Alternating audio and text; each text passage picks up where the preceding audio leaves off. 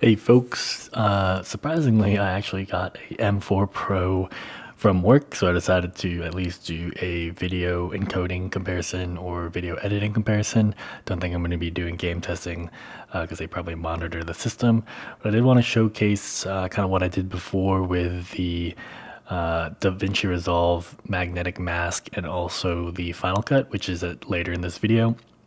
So simply setting up the strokes so that you get the magnetic mask or auto tracker, uh, which is useful as if you're an editor, or this could also just showcase some of the computing powers of the M4 Pro, which is on the left, the 16 inch versus the 14 inch M1 Max. The M4 Pro has 48 gigabytes RAM, and the M1 Max has 64 gigabytes RAM, I'm pretty sure. Could have more. Um, but, anyways, showcasing if you're familiar with Resolve, there is this feature that does a tracking object tracker and then it goes forward and backwards. Um, so clicking these both at the same time, so using both my hands, um, we can see actually that the faster CPU speeds of the M4 Pro actually get you faster frames per second at 16 frames per second on the left versus 10 frames per second on the right. Um, and then also there's faster multi-core on the M4 Pro as well. And there is also a difference in apples to apples that it's a 14 inch versus a 16 inch. So there is some thermal throttling um, on sustained loads, but this pretty much was kind of an isolated test. It wasn't running long, so that's something also to consider. Because um, I've seen a lot of people or people considering coming from an M1 Max to an M4 Pro. So I typically have video games on my channel, but I do sometimes show stuff like this. So if anyone has any suggestions of what else to test, um, I'll consider it. As again, this is a work laptop, so I don't really want to do too much on it. Um, but essentially, we have uh, showcasing here that the M4 Pro on the left finishes as expected, or maybe not expected, depending on what people consider. Um, so really, the M1 Max um, is going to be faster because it has two encode engines, but I later show the export times and it's kind of negligible. So surprisingly, with both of these running DaVinci Resolve Studio, which is supposed to uh, take full utilization of the GPU, we can see here now we're able to, you know, if this was a real workflow, you would be editing, doing something with the mask. Whereas with the M1 Max, you're still waiting for it to finish doing the tracking. Uh, so perhaps something to consider in people's workflows if you do this kind of editing with Magic Mask or something like that, um, to consider getting the M4 Pro. And then we can see here, now the M1 Max finished, and you're able to continue your edits and stuff of that nature. So actually on the Windows machine, which is RTX 4080, it actually took, started at 1134, finished at 1145, about 20 minutes to get the neural engine running, and then setting up the same type of test, running the Magic Mask on DaVinci Resolve Studio, uh, making these strokes. Um, yeah, I'm not sure why the Mac version doesn't have to update neural engines. Maybe it's not supported. I'm not exactly sure. But with that being said, um, we can see here that the RTX, as I've, if you've been on my channel and I've done this test before, uh, gets really fast frames, 30 frames per second, where the M4 Pro is 16 frames per second, even now jumping up to 40 frames per second.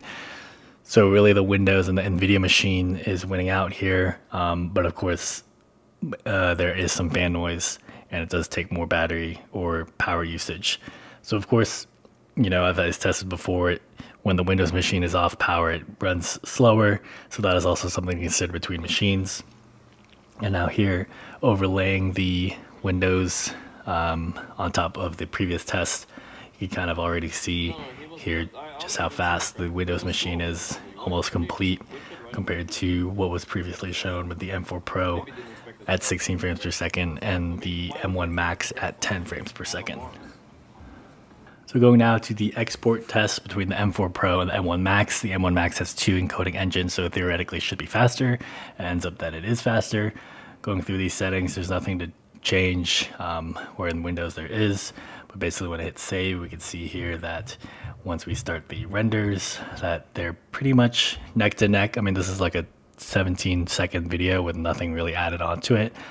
Um, one thing to consider is that I think with DaVinci Resolve, during the export, it does the graphics calculation. So if you do do like stuff like adding noise defilter stuff like that, I'm pretty sure it does it during export unless they have a cache. Don't quote me on that. Um, but that's what I've seen on Windows of like, that's why it takes long. So now setting up the test to kind of extrapolate what could be, um, you know, more generic tests. Um, we'll duplicate the video three times and then re-export this video. And now that we do that, we can see that the Windows, or sorry, the M4 Pro versus the M1 Max, you do start seeing the M1 Max slightly pulling ahead um, because of the increased encode. So depending on how long your videos are, you can expect at least the M1 Max to encode faster. Um, this one completing in 11 seconds, where the other one completing in 14. And of course, you know, as you extrapolate this longer into longer videos, it does save some time on export. Um, comparing to the Windows, actually, surprisingly, it had to do the magic mask again, which was, I was surprised it had to do that because the Mac didn't. So I'm not exactly sure why. But like I mentioned before, I think during the export, it does kind of redo some of the uh, encodes or uh, processing that I'll have to do later. So with that said, I think that comparing the M4 Pro to M1 Max, um, you know, at least with exports, it's not really I kind of just walk away or do something else. Um, and if you did want to save the most time or have the most graphical performance with DaVinci Resolve, I think you would be better off with a RTX laptop. And of course, the new ones are coming out. 5070 Ti looks like the best bang for your buck, um, but just something to consider.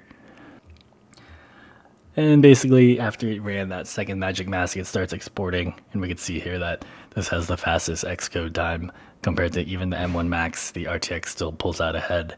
Um, at being able to encode the fastest at around 8 seconds for that timeline of still 3 um, at the same time. Now we'll do a final cut test, which is essentially kind of the same type of test. Here you don't really do a stroke, you click and then it makes it red. Um, so I tried to set up as best I could um, on the M4 Pro on the left. And of course there is no final cut, so there won't be a Windows comparison here. But doing it now on the M1 Max, clicking through, they appear to kind of detect the same picture at the same time.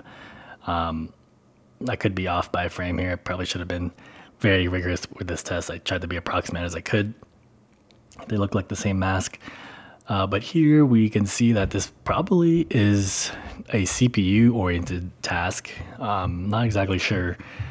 Um, I don't know if they have any documents you could read on Final Cut, but it does perform, I think, better than DaVinci Resolve, at least during this workflow, which is, um, you know, getting a mask out, maybe so you could remove backgrounds or do something um, if that's part of your workflow. But with that being said, um, the M4 Pro is being faster as compared to also what it did in DaVinci Resolve. But not only that, Final Cut is a little bit faster than the DaVinci Resolve Magic Mask, same workflow.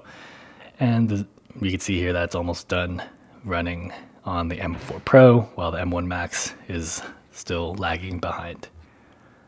Then doing an export test running a 3 copy um, just like it was in DaVinci Resolve. I was expecting actually to see uh, M1 Max finish first, but surprisingly here the M4 Pro finished first um, though there was no notification on the control panel, so I was expecting that. But you could see from the background task, it did finish on the left, and then the M1 Max finishes not too far behind, but it does give that notification, so I'm not sure why that appeared.